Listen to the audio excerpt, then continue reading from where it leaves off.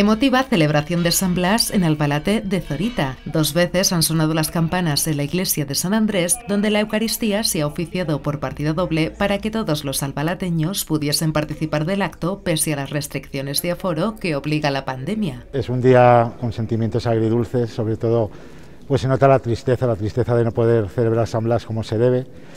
Y bueno, pues eh, gracias a, José María que ha hecho también, el, nuestro párroco que ha hecho las dos las dos misas, por lo menos hemos podido venir a, pues eso, a estar con él, a, honrarle como patrón de Albalate.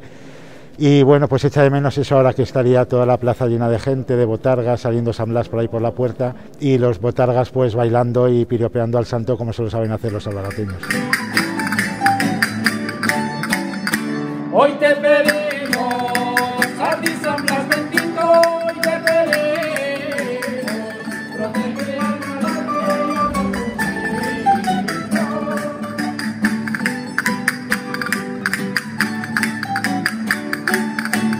el redoble de los tambores y castañuelas, los rojos y amarillos de los botargas danzantes, el sonido de las explosiones. Todo estaba contenido en la ilusión albalateña por poder celebrarlo con salud al año que viene.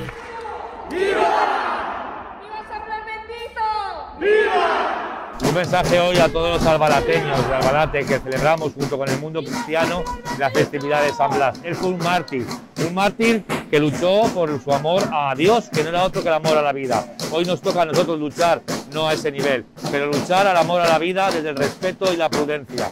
Sabemos que es un San Blas raro y extraño, el mundo está raro y extraño, pero volverá la primavera, volverá el verano y volverá la vida al pueblo de Albalate con estos tambores, estos danzantes y el amor inmenso que sentimos a San Blas bendito. ¡Viva San Blas bendito, albalateños! Esperemos que en 2022 todo haya cambiado. Mientras tanto, toca tener paciencia y seguir siendo extremadamente prudentes y responsables.